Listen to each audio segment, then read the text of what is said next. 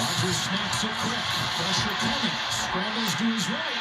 Pumps and runs. Aaron Rodgers is inside the pylon. Touchdown Packers. It's Rodgers running for the score.